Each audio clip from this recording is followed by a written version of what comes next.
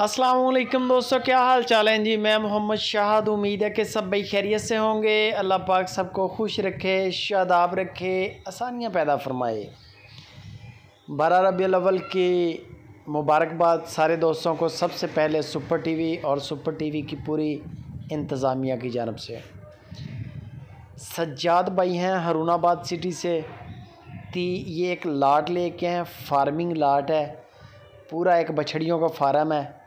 कोई भी दोस्त इंटरेस्टेड हो, कोशिश करेंगे ये सारी लाट उठा लें। डील बड़ी वारे की है।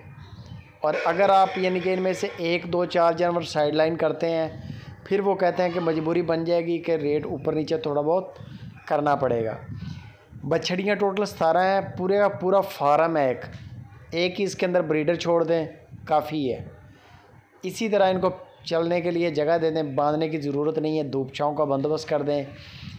चारा में सबस तूड़ी सबस चारे की ज़रूरत नहीं है, तूड़ी, साइलेज और वंडा, ये आपके गोदाम में होना चाहिए।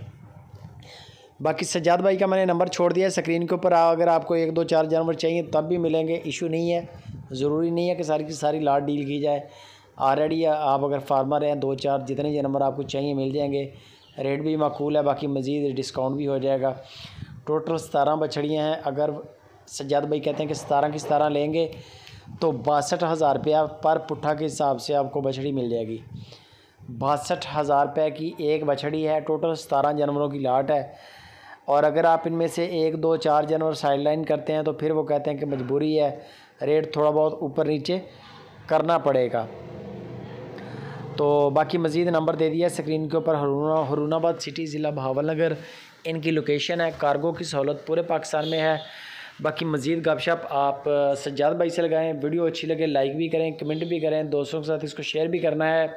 और फार्मर हजरात जो हैं, जिनके पहले फार्म हैं या नहीं हैं, जिन्होंने नया शुरू करना है, उनके लिए एक बेहतरीन लाट है। आठ दस बछड़ियाँ भी आप लेते हैं, एक ब्रीडर लेके इनको, ऐसे खुला रहने दें, अल्लाह के हुक्म से ये माल बड़ा ग्रोथ वाला माल है।